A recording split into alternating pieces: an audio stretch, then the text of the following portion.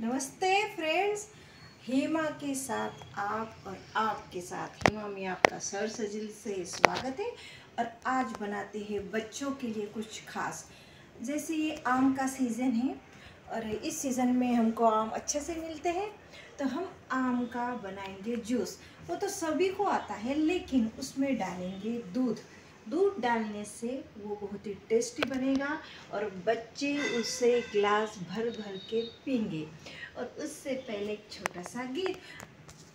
सुख में हरी साथी न दुख में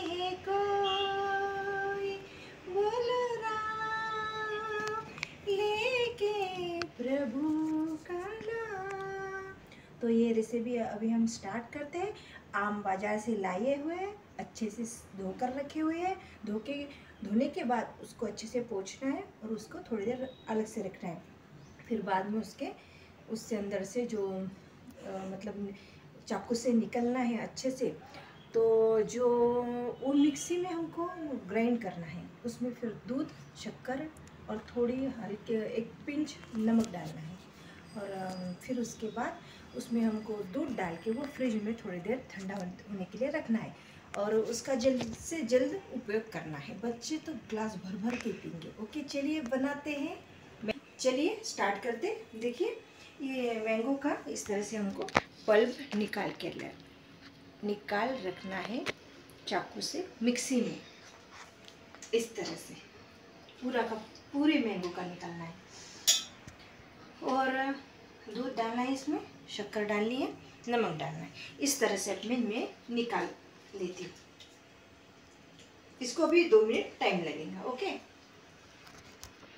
ठीक है ना हाँ आइए फ्रेंड्स अभी ये पल्प निकल चुका है अच्छे से।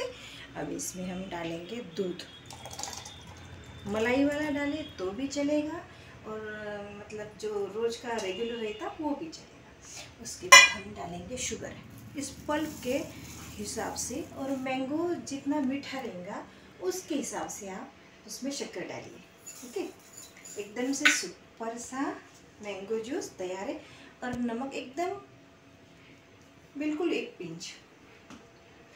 इसको अब हम थोड़ा सा ग्राइंड कर थोड़ा सा इस तरह से अब ग्राइंड हो चुका है। ये आपका मैंगो जूस तैयार है।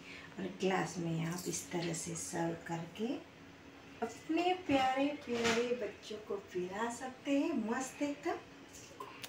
देखिए। इतना सुंदर सा, प्यारा सा जूस बनकर जूस एकदम। देखिए।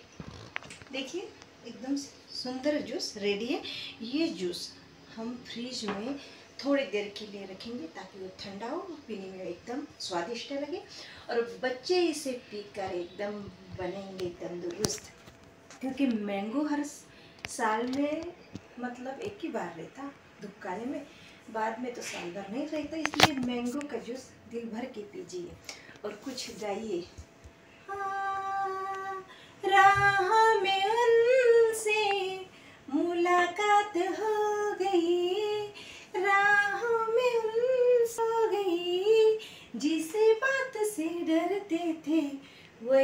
बात हो गई।